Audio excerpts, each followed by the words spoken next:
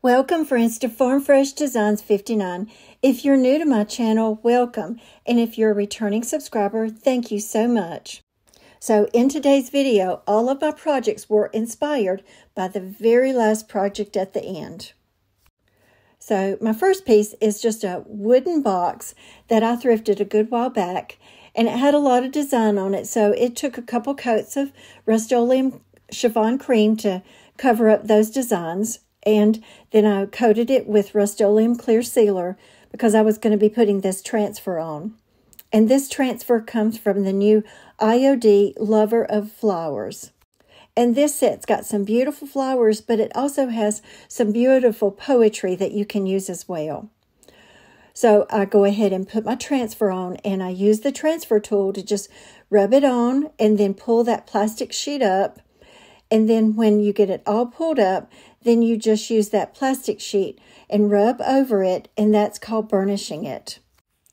So the next thing I'm going to do is I'm going to make a knob for the top of it.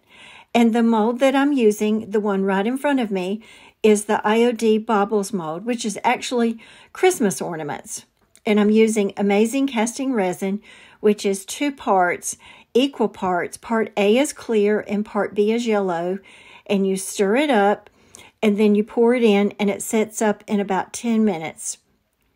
So if you'll notice on that particular mold, you'll see some little foggy parts. And really what that is, is I took a hot glue gun and I went back and forth and back and forth so that when I pour that resin in, that resin will not go past that hot glue and kind of bleed down into the rest of that mold and waste it. Now, those little um, molds that I have off to the side, I always have extra, so I just pour it into those things.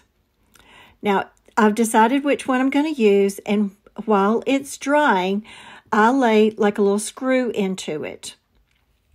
And then when it sets up, that screw is stuck in there all the way. And then I have to trim off just a little bit down at the bottom. Then I put that little piece of hot glue back in there. And now I'm going to make a double-sided mold. So you go ahead and make one and let it set up. And then you pour it in again. And then you take that mold that's already set up and just lay it on top of it. And just make sure that those two pieces, the part that's in there and the part that you're putting on top, kind of mold together. Once it's all finished, then I just drilled like a little hole in the center of the top of the box. Now, this particular mold is the IOD Laurel mold. And there is like a little medallion right in the middle. And that little medallion is what I'm going to use to put right up underneath that little knob that I made from the Baubles mold. And I use DAS air dry clay and I put cornstarch in and then you know, push it down with your finger, and then I go back over it with the credit card. And then once I kind of get it in just the right place, then I use Titebond Thick and Quick and to put it on with before I put that little knob in up at the top. Now, once I laid it down there, it, you know, I kind of had to wiggle it around just a little bit to make sure that it was in the right spot. And then I go ahead and I screw it in there just a little bit because I want to make sure um, that it all kind of looks together. And I didn't push it down too hard into that clay. Now, this is the part that I, I guess I just forgot to tape. And this is the little laurel wreath that's also on that other mold or the laurel mold. And I make the two pieces that are the laurel wreath, and then I make the pieces from that same mold. One is a little crown that I put up at the top, and the little piece down at the bottom that connects those two pieces of laurel is the little bumblebee. And I put those on with Titebond Thick and Quick as well. And then after it sets up just a little bit, then I'm going to go on and paint it with the Rust-Oleum chiffon cream. Now, these little laurel molds, you know, they're a little bit smaller. And so even if as you're moving it and putting it up there, if it just wiggles or if a little piece tears off, it is no problem to just push it back in there and kind of get it all set up together again. Now, the reason that I made this particular box is it's called a joy box. And let me, if you've never heard of that before, let me tell you what that means. Um, when my mom had cancer, um, she had to sit around for a long time and she would get a lot of cards from her friends. And so she just put them in a little pretty box that she had. And as she had to kind of sit around for all those months as she was recovering, she would just pull those cards out over and over from her friends, and they brought her so much joy. Now, I do not have cancer, um, but I know that there are a lot of special things that I have, like particular a letter from my grandmother, and every time I read it, it just brings me so much joy. And so I wanted to go ahead and make one for myself. Now, on the inside of it, one of the poems from that Lover of Flowers, it's called Pink Rosebud. And it talks about a thousand images of love and grief. And I thought this was a perfect poem to put on the inside of this because the, the things that I will be putting on the inside of the box are things that bring me joy. You know, just old pictures and things like that that I don't have in a picture frame. But, you know, as I set them, if I, you know, sitting off to the side and I want to open it up and look at it, it's just going to be things that brings back really special memories to me. Now, as I was putting that transfer on, you know, sometimes you're going to miss a little spot. So just lay it back down and rub it in and then go back and burnish it again. But it's really easy to get these transfers on. And then once you finish, then you want to spray it again. But before I show it to you all at the end, this is just an old book that I had, and I painted it with Rust-Oleum Chiffon Cream. And I'm doing a new trick that I have not done before, but I see a lot of people do it. So I put Mod Podge all on the front of the book. And this is a piece of decoupage paper. And honestly, I've had it for so long, I don't know where I got it. And then um, after that Mod Podge dries and you put that decoupage paper on it, then I just use my little Cricut, um, little heat, um, I don't know what you call it. It's kind of like a little iron. And you just rub all over it. And then that just kind of opens or I guess it kind of makes that glue melt just a little bit or it heats it up and then that paper um, automatically adheres to it. And I've not done it before, but it was a lot of fun. Now, I'm making the IOD lock and key mold because I'm not going to do a lot to this book because it's actually made into a little riser. But I want to put something on the spine of the book. Now, if you'll notice up underneath that book, those are those little wooden cups that you can get at Hobby Lobby. And I use those for the feet. And I just glued them on down at the bottom and let them set up really good. And I did that and let it set up overnight before I actually put this particular mold on because I wanted to make sure that those little wooden pieces did not move around as I was putting on that particular mold. So I don't want it to move, move it all. So I stack everything, you know, on both sides of that little book so that it's not going to wiggle around and accidentally fall when I'm putting this particular mold on. And once again, I use the Titebond Thick and Quick. And then once I get it all set on, then I let it set up for just a little bit, and then I go back and I paint it with the Rust-Oleum Chiffon Cream. And when you first put it on, it's just a good practice. Sort of just kind of dab it on, just a dab at the edges a little bit. Now, you don't have to go on and paint the mold. Some people like to wait until that particular mold is dry all the way to paint it. But I'm just one of those people that like to go ahead and paint it, and it helps to reduce cracking. Now I'm going to go and paint those little wooden cup little pieces, and I'm just painting those with the Rust-Oleum Chiffon Cream. And then once all of that gets dry, then I just go back with some gold gilding wax and kind of add some touches to it. So this is my box. There's some old letters. And I am going to go back and I'm going to put some hot glue over the very edge of that screw. And this is the little poem. And, you know, it's just got some little things in it already. but this will be my joy box. And it, it's just something that I will continue to put some sweet memories or sweet letters or, you know, sweet little pictures that my grandkids have picked, you know, colored for me that they want Grammy to save. So I'm sure it will fill up pretty quickly because um, my granddaughters love to color me pictures. And then this is what it looks like when it's closed. And so once I got all of those molds painted and they were good and dry, then I used gold gilding wax and I just rubbed it on to just bring out the detail of those molds. And I just think it's so, so pretty.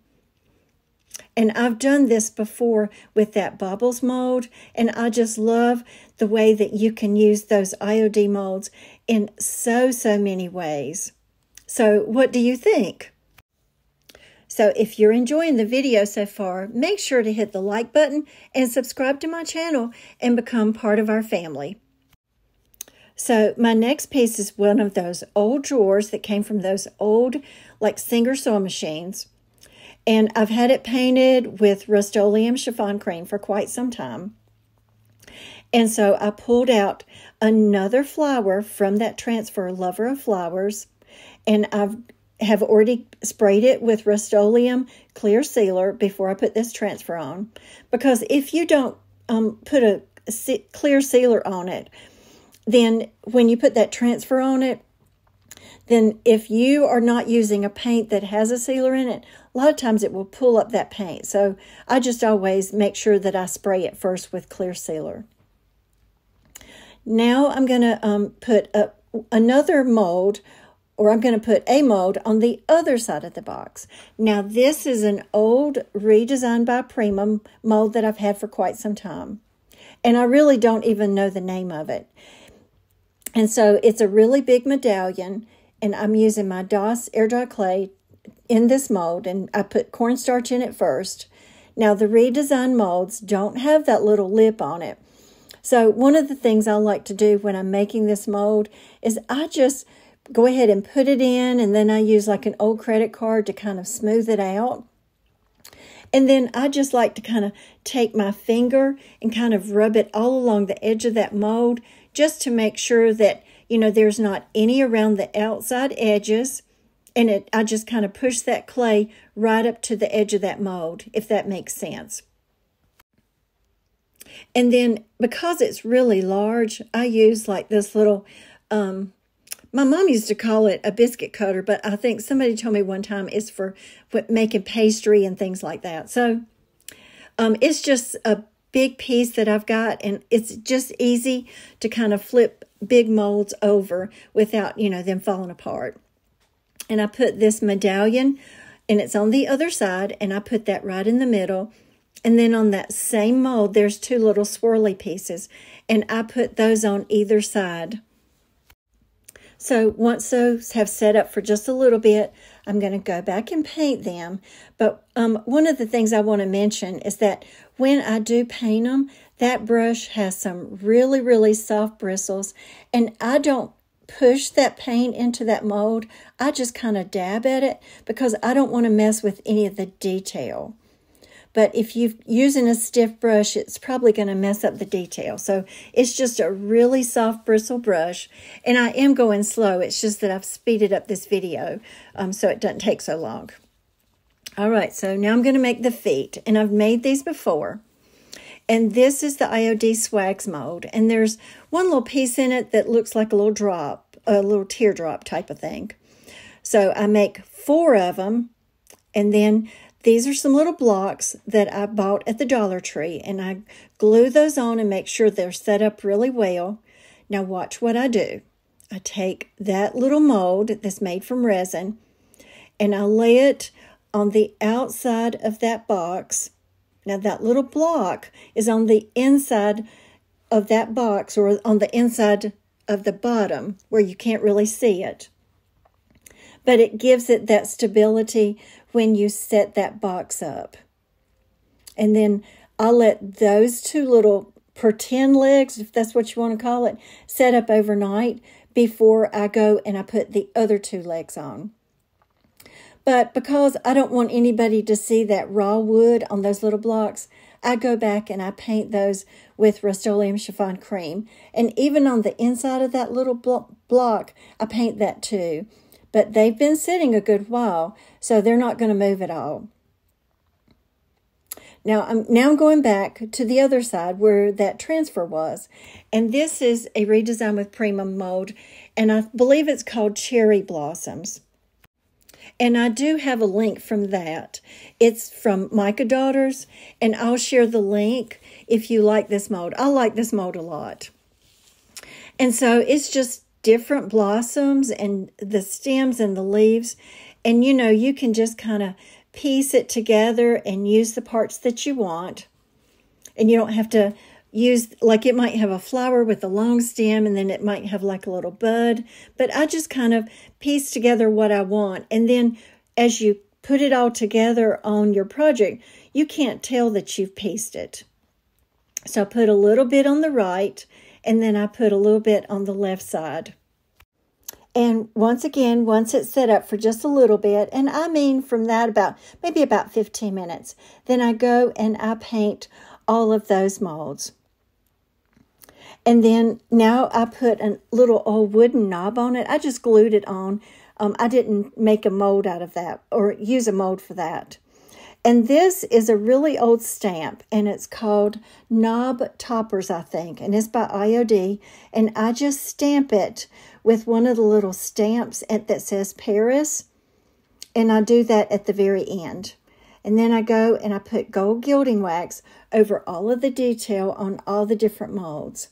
And this is the side with the big medallion and the little two swirly pieces on the side. And look at those little legs.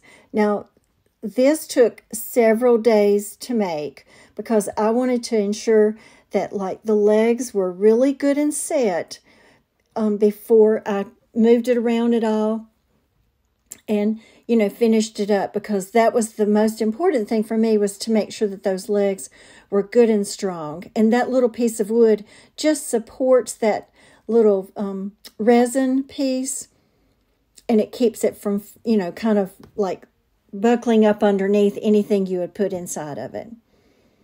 And then this is the little knob topper. And if you'll look right up underneath the box, you can see that little block of wood. But I'm okay with that. And now these boxes are really old and um, there's some pieces of the veneer that's missing a little bit. But I love them a whole bunch. And I think that just really adds to the charm of it. So my next piece is a wooden magazine holder um, that I thrifted and I painted it with Rust-Oleum chiffon cream. And so this is a piece of the transfer. Um, and some creators call it Joy de Roses, and I've heard other creators call it Joie de Roses, but it's from that new IOD release. And this is just part of this big um, transfer set. And but on this particular one, there's some little oranges in the transfer set, and I didn't want that to be on this particular part, so I trimmed those off. But I had already sprayed it with Rust-Oleum Clear Sealer just so that the transfer would go on and it wouldn't peel that paint up. And then some of the transfer ended up being up underneath, but I was okay with that. Now, I like to have little pieces of transfer set on the side as well. So this is just another floral from that same set that I'll put over on one side. Because, you know, when people see it, if they don't just see the front to begin with, but they see the side of it, I just think it's really neat to have something on the sides. And the part that I forgot to film was on the very front in that blank space, I used the IOD kindest regards stamp. Now, on the very front, on that transfer, is just a little butterfly. So I decided I would just add one little mold, and it's the IOD Monarch, which is all the butterflies. And so I used my DAS air dry clay, and I put cornstarch in it, and then I put it on my Titebond Thick and Quick, and I put that on the side. But I'm going to leave that little magazine holder laying up on its side for just a little bit until that glue has dried. And then I'll go back and paint it with the Rust-Oleum chiffon cream. Now I had one little rosebud left, and so I decided I would put it right there on the front just to add something extra up at the top. And then I used the IOD Vintage Textures to just use a little bit of stamping and I used stone gray ink because on that transfer set you can see some little crackle pieces and so it mimics the crackle that you see in the flowers from this transfer set. And I just think it turned out so, so pretty. And even though I'm not using the same transfer set on all the different pieces today, a lot of the colors just blend to so well together. And I really like that IOD, you know, is able to make different pieces, you know, all work together. Now on this piece, this is a really large piece of decoupage paper and I've had it for a long time and I really don't know where I got it. I'm sure I've ordered it off of Etsy. And I just kind of had to piece together what I wanted. And this is just like a little wooden, I guess you could call it a tray or maybe a little sign that I got at Hobby Lobby. And I painted the outside edge and those little beads were already on there. I painted it with Waverly Moss Green, and once it was dry, I went back over it with white wax just to kind of soften it up. And then I'm putting down that decoupage paper with Pent Art varnishing glue. And I'm about out of it, um, and I probably will not order it anymore. I'm going to go back and start using Mod Podge again. And then I put down just a little bit, and then I pull it back up and put down a little bit more. I don't like to always um, put, you know, all of the glue down at one time. That makes it a little bit harder to put put it down. And then, you know, if it's not in just the right spot, then you have to pick it back up. And sometimes that's hard. And then I just work my way all around. And then I put on all those little pieces. And then once it's all finished, um, then I will spray sealer with it to kind of coat it and, you know, make it um, so that if I set something on it, it won't get wet. Now, this can be hung up on the wall because there's like a little um, twine rope on the back of it. So that would be something that, you know, you could hang right up above a dresser. But I'm also going to show you that you can use it as like a little tray. So if you wanted to have one of this, a little tray on your dresser to put your jewelry in, then you could take that rope off of the back. But I actually still have that little rope on it and I just taped it down. So friends, here are all the pieces that I've worked on today, but it's not ready for the end. In just a few minutes, you're going to see what prompted all of these pieces. But look how all of these colors just blend together so, so well. And I just love everything. Now, let me tell you why. Because um, I found a dresser and um, I wanted to use that transfer set, Joie de Roses, because it's really big and I wanted to use it on the front of the dresser. And that's going to go in my bedroom. So then from there, then I started making all of these different pieces that will blend together with that dresser. But before we get to the dresser, in the comments below, let me know which one was your favorite. And have you gotten this transfer set? I love it. It's really big and it's got a lot of transfers on it but it's just beautiful. And actually, I ordered another transfer set because I like this so much. And I'll use it a lot as time goes on. And then you're going to see, you know, where I've turned this little um, sewing machine box around to the other side. And I just think it's so pretty. And I have done this, I think, the third time when I've used these little sewing boxes.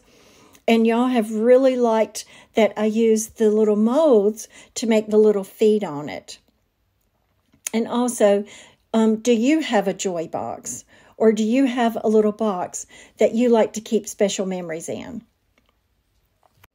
Okay, so this is what inspired all of these pieces.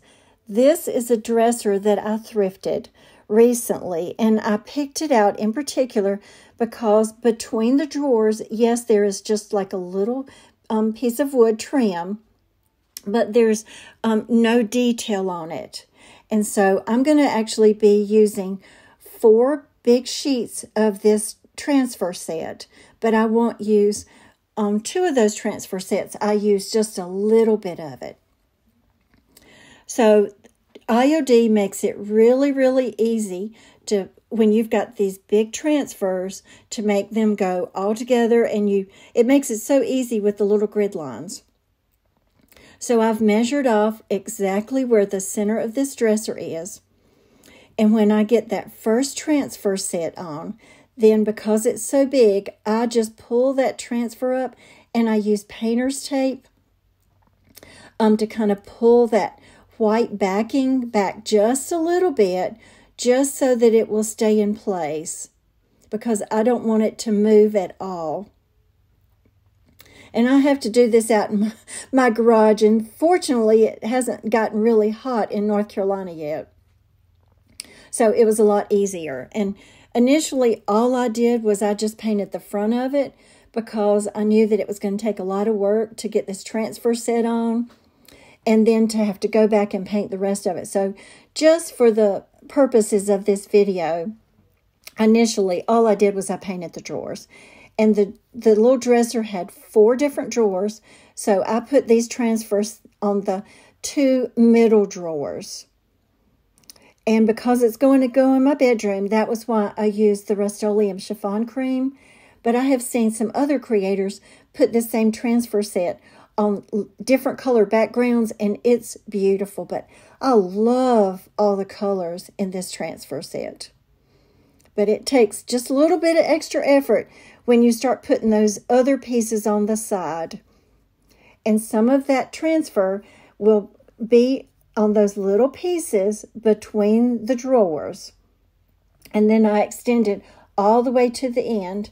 And then I replaced all the knobs with just some glass knobs that I get at Hobby Lobby. But isn't this just so beautiful? I love it. And I love all the colors, and it's got birds and butterflies and just all of my favorite colors. So, what do you think? And do you like to have pieces with transfer sets in your home? Maybe not just on smaller projects, but actually on furniture. And this is where I've started adding all the pieces to it. So I've got my little sewing machine box, and then I've got my little tray. And then I've got a, my little riser over to the side. Now, one of the things that I will do is um, I like to make sure that that paint has set up for a couple days, and then I go back and I use furniture wax, which is it's Staples clear wax, to um, put over that chalk paint and coat it, and that gives it the finish. And here's my little joy box, and then over to the right, I've got my riser. And I didn't put little, my little magazine holder in this one. But I just think it's so, so pretty. And I love um, all of these different pieces and how they blend so well together. So um, this dresser is super heavy. So my husband's going to have to help me get it into the bedroom. Can't do it by myself. And I actually even have to take the drawers out because it's super heavy. And I think it was made out of maple. But when I bought it, um, it didn't have any smells to the inside, so I was pretty tickled. So we are at the end of the video, so make sure that if you enjoyed the video, hit the like button and subscribe to my channel and become part of our family. And I will see you in our next video. Have a great week.